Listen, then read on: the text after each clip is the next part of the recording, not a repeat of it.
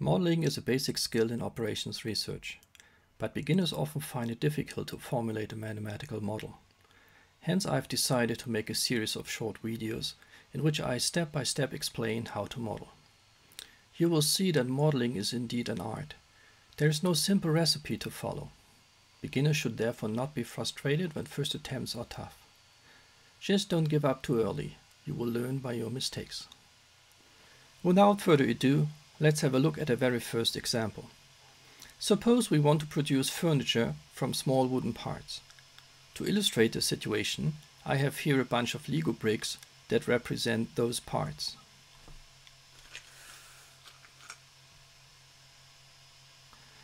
As you can see, there are different kinds of parts. We have 2 by 2s and we have 2 by 4s the number of parts is limited. We've got 8 2x2s and 6 2x4s.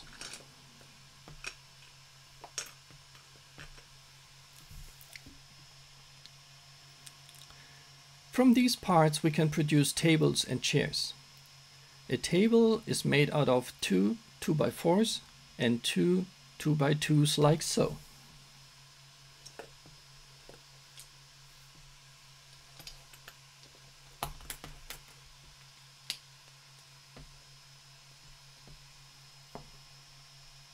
A chair requires one 2x4 and two 2x2s.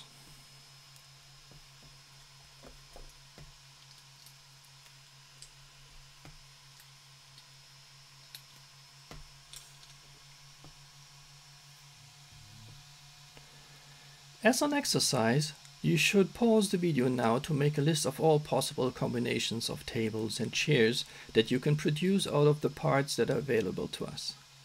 Pause the video now.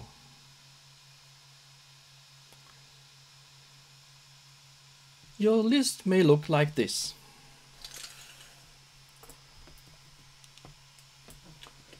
We have the number of tables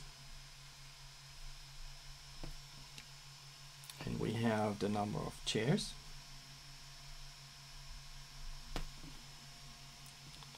so it is possible to produce three tables and no chairs.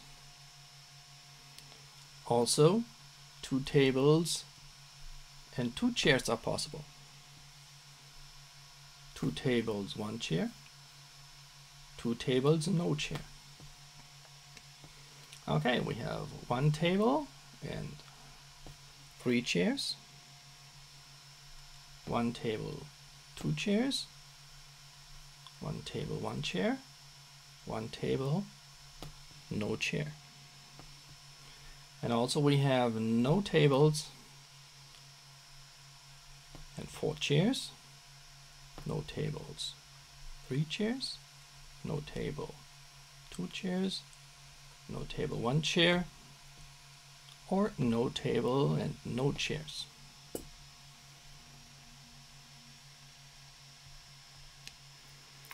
Now let's try to model our situation.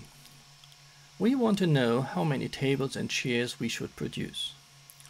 This is unclear to us and so we use symbols to represent those unknowns. Let t be the number of tables.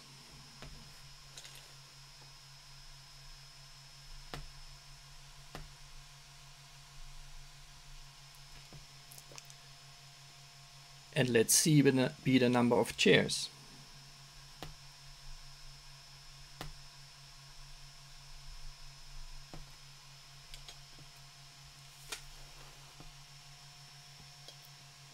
As part of a model, we usually specify the so-called domain of these unknowns, that is, the set of values from which we have to select a number.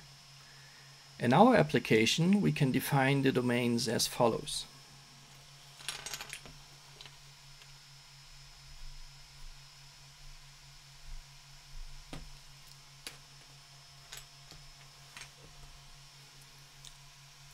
We can define t is greater than or equal to 0 and C is greater than or equal to 0.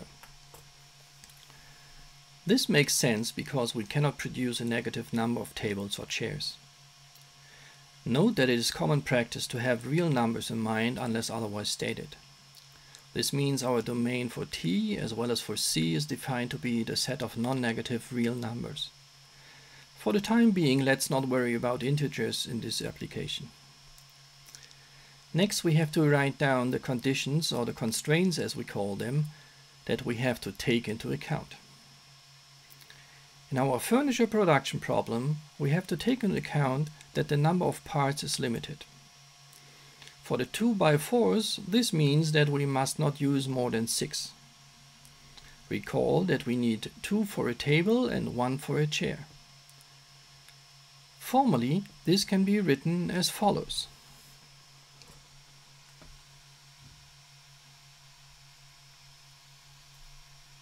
Two times t plus one times c is smaller than or equal to 6. In a similar fashion, we have 2 times t plus 2 times c is less than or equal to 8 for the 2 by 2s because we have 8 of them and 2 are required for each piece of furniture. By the way, the order in which we write down the constraints does not matter.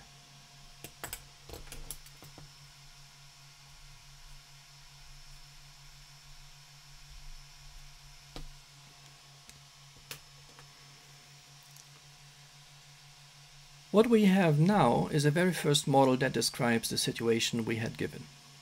A few technical terms should be introduced at this point. The unknowns are referred to as decision variables.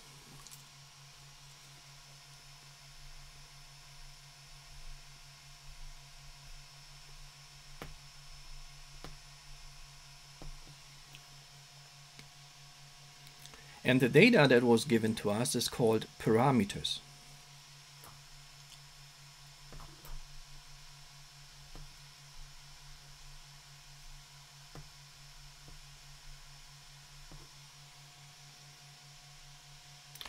A feasible solution is an assignment of values from the domain to the decision variables such that all constraints are fulfilled without exception.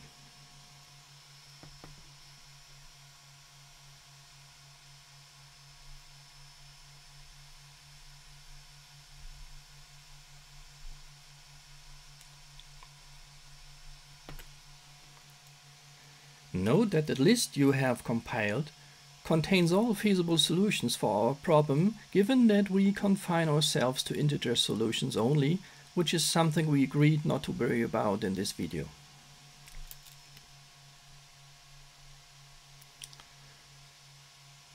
Let's now assume that we can sell the furniture that we produce. Suppose that the price for a table is 16 euros and the price for a chair is 10 euros. This leads us to what we call an objective function.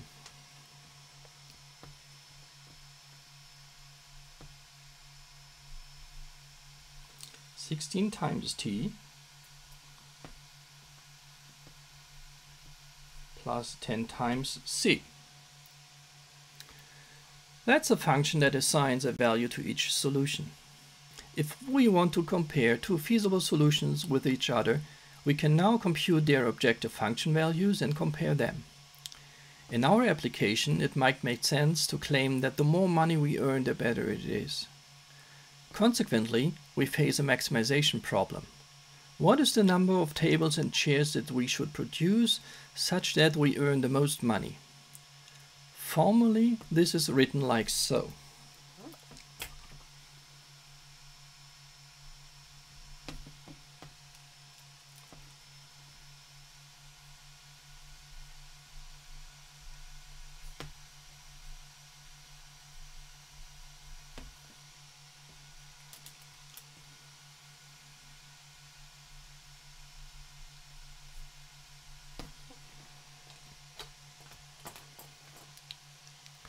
In other contexts, we may face a minimization problem and we would write min instead of max then. Note that the objective function does not have any effect on what is a feasible solution and what is not. But the other way around, only a feasible solution can be an optimum solution. An optimum solution is a feasible solution such that the objective function value is best among the feasible solutions. As an exercise, you may pause the video again and compute the objective function values for all the feasible solutions in your list. Find the best solution in our problem. Pause the video now. If you did right, you found that it is best to produce two tables and two chairs.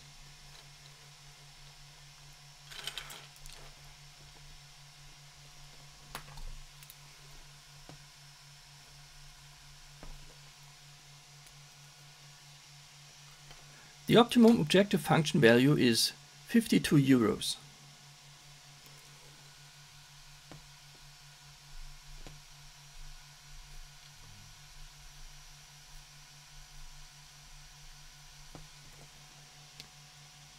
Note that if you were asked to name a feasible or even optimum solution, you have to provide nothing more than values for all the decision variables. In our case, we would say that t equals 2 and c equals 2 is an optimum solution.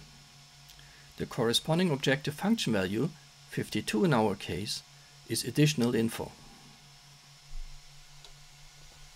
To wrap things up, Let's recall what we have learned by this first example about the typical approach in operations research. First, there was a story, producing furniture in our case. In operations research, the story is called the problem.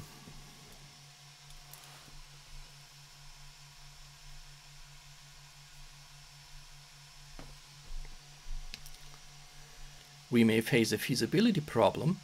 Any feasible solution would be fine or we may face an optimization problem. A solution with best objective function value is desired. Next, we can describe the problem in mathematical terms. Parameters, decision variables and their domains, constraints, and possibly an objective function. This is called a model.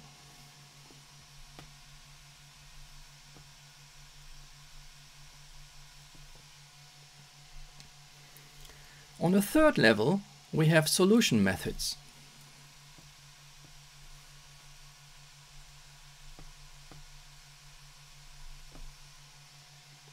You have used a solution method that is called complete enumeration. You have listed all feasible solutions and you have selected the best one then. This, of course, is not a very smart solution method, but it is sufficient for the purposes of this video. It is important to note that a model was independent from the method. Be warned, there are more advanced methods that make heavy use of the model formulation. But this is out of the scope of this video. For a beginner it is very important to discriminate these three levels. When discussing things in operations research, it is essential that you are always very aware of what level your discussion is focused at. Are you discussing the problem for example, the assumptions or simplifications you make on the problem level? Or are you discussing a model? For example, what decision variables to use or how to formulate constraints? Or is it methods you are concerned about? For example, how to find a good solution in short time? The focus of this video series is on models. Problems may be given as examples, of course, but we are almost never concerned about how to compute a solution that is methods of minor to no importance in our context. Hope you enjoyed our trip so far.